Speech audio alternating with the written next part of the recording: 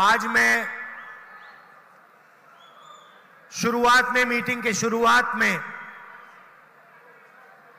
कर्नाटका की जनता से सीधी बात करना चाहता हूं ಇವತ್ತು ಪ್ರಾರಂಭದಲ್ಲೇ ನಾನು ಕರ್ನಾಟಕ ಮಹಾಜನತೆಯ ಮುಂದೆ ನೇರವಾಗಿ ಮಾತಾಡಲಿಕ್ಕೆ ಇಚ್ಛೆ ಬೀಳ್ತೇನೆ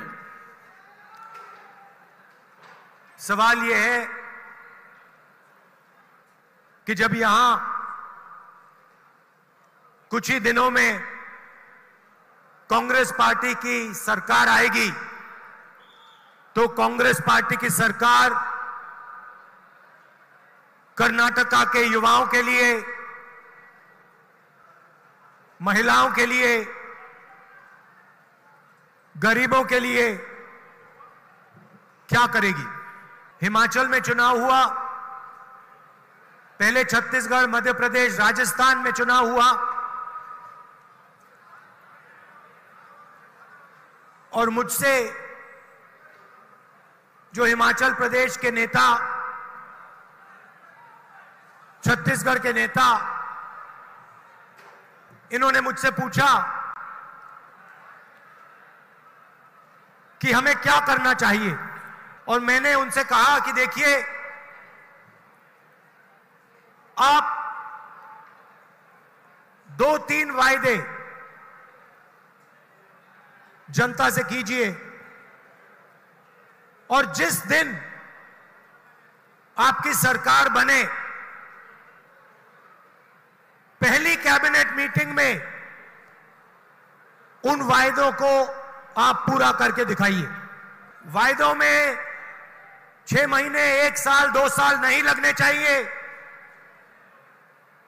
जो बड़े वायदे हैं, उनको पहले ही दिन सरकार को पूरा कर देना चाहिए।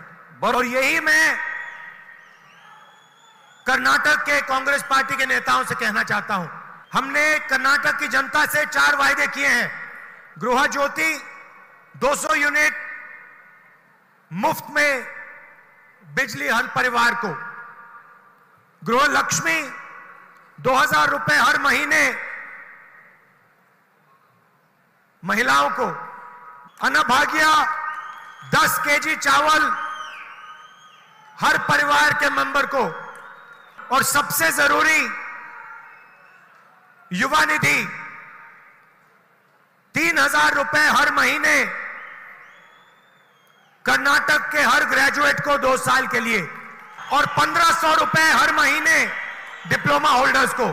और इन वायदों को पूरा करने में छह महीने, एक साल, दो साल नहीं लगने चाहिए। ये वायदा पहले दिन, पहली कैबिनेट मीटिंग में पूरे हो जाने चाहिए। और कांग्रेस पार्टी को, कर्नाटका की जनता का और देश की जनता को सीधा मैसेज देना चाहिए। प्रधानमंत्री को मैसेज देना चाहिए कि अगर आप हज़ारों करोड़ रुपए अदानी जी जैसी कंपनियों को दे सकते हो तो हम गरीबों को, महिलाओं को, युवाओं को पैसा दे सकते हैं। अपने दिल भर के अदानी जी जैसे लोगों की मदद की। हम दिल भर के कर्नाटक के गरीबों की मदद करेंगे मजदूरों की मदद करेंगे, महिलाओं के, युवाओं की मदद करेंगे। आप अपना काम करो, हम अपना काम करेंगे।